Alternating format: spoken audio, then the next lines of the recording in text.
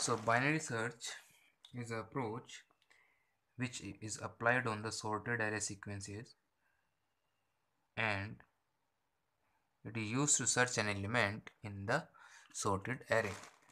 So the search procedure begins with the mid element. So we just divide the array into two parts based on the mid element. First, uh, the selected or target value is compared with the so uh, the mid element. If the mid element is equal to target value, then the index of the mid element is returned. Otherwise, we check whether the target value is less than mid or greater than mid. If it is greater than mid, then we search the target element to the right side of the mid element and if it is lesser than the mid then we search the target at the left hand side of the mid element the recursive calling is made based on the uh, target value. So the recursive calling on the left hand side and right hand side of the array has been made accordingly. So this is how your binary search is will be worked.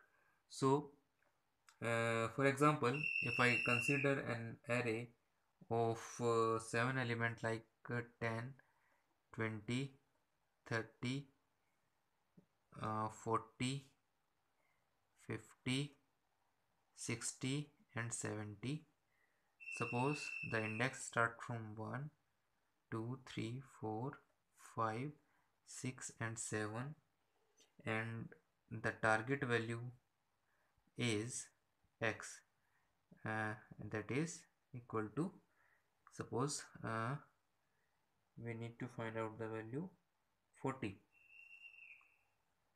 okay.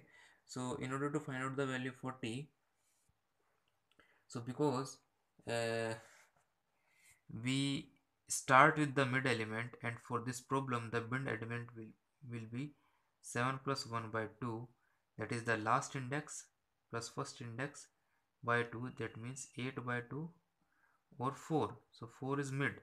So mid element is nothing but 4 so we check for the mid element whether it is a target value. Yes it is a target value. It means the this would be the best case.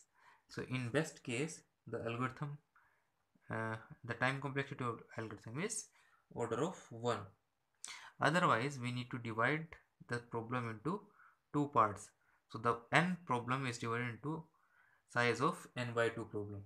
So any because it is a binary search so it may be a partial divide and conquer because if you want to divide the sub problem uh, divide this t of n problem into sub problem so either part of, part of n by 2 would be executed.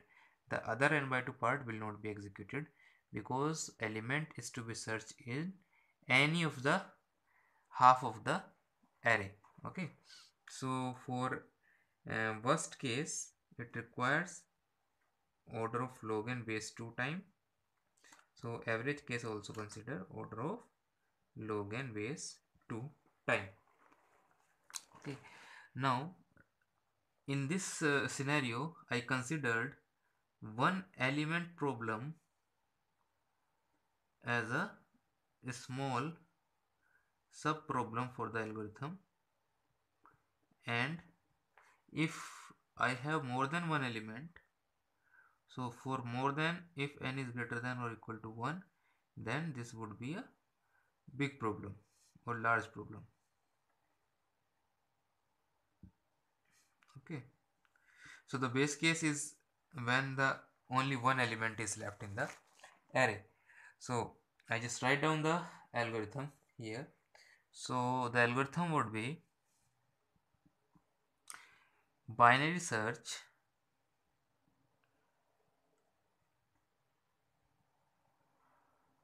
And I pass the array A with the indexes and the element to be searched.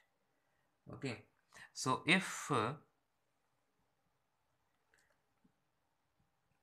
there is one element only then the problem is smaller. I just return the index of that element. Else I just return minus 1 okay. So if element is not there fine. So this is uh, so uh, so if i is equal to j then okay sorry. Uh, i just skip one step so if i is equal to j then i need to check for the whether this one element is equal to my target element or not. So i need to check if a of i or a of j is equal to x. If this is the case then it will return the index i. Otherwise it will return minus 1 it means that the element is not in my uh, array. Okay. Now so this is the case when only one element is there and the base case is executed. If basis case is not there i go to the else part. In this i need to find out the mid element. So mid element is nothing but i plus j by 2 and if the a of mid a of mid is equal to x means the middle element is equal to x then return mid. Okay. Otherwise if a of mid so if a of mid um, a of mid is greater than x then it will call the binary search procedure again with a i mid minus 1 comma x else it will call the binary search on a mid plus 1 j and x. Close the else part close the algorithm. Okay so this step that is base case this require only uh, because this is only one element so i just need to check whether it is equal to the target value or not. So this will require order of one time so this step require order of one time. Now this calculation of mid also require order of one time. Then this comparison also require order of one time. And here also this is a order of one time. Now this is nothing but recursive calling these two are the recursive calling but at a time only one recursive call is there. So either because okay so i just put it here else statement. So either this recursive call or this recursive call will be executed due to this else statement okay? So let's find out the uh, what is the recurrence relation for this algorithm. So the recurrence relation t of n can be formed as so if uh, your problem size is small that is only one element is there then only your problem uh, is very small small problem. If n is uh, greater than 1 then you can you can treat this problem as a bigger problem. So if n is equal to 1 then you require only order of one time. So if n is equal to 1 okay only small problem is there. So it is order of one time. If otherwise if it is greater than or uh, 1 then what you do? You just uh, calculate the uh, mid element that will require order of one time. Plus you calculate the you compare with the target value that is also require order of one time. And then you com uh, you compare with the mid element uh, that is also require order of one time.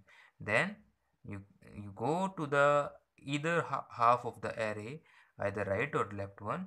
So that will require only time complexity in n by 2 uh, size of array searching in the n by 2 size of array.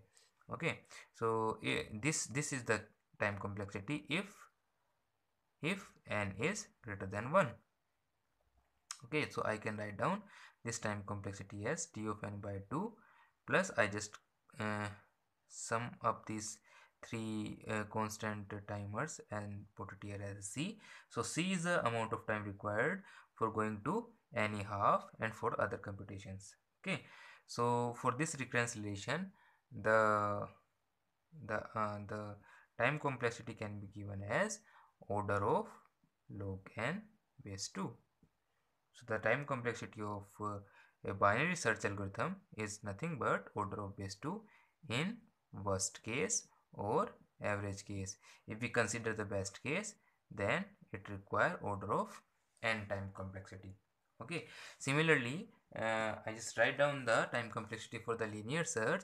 So for the linear search, because in linear search we for any array we start search the element from the starting index of the array so uh, for that case uh, the best case would be if your uh, target element that is x is at the a of first position. Okay because linear search start with the a of 1 so uh, in the best case it require only order of one time because at the first location also it will get the element. In worst case that is only happen when your element is at the last index or we can say that your element is not there in your array. So if element is not there or element at the last, last index it will require n comparisons or order of n plus common comparison. It means the worst case time complexity would be order of n. And the average case time complexity can be calculated as n plus 1 by 2 that is order of n. So the linear search have order of n time complexity for worst and average case and best case have the order of one time complexity. Thank you very much.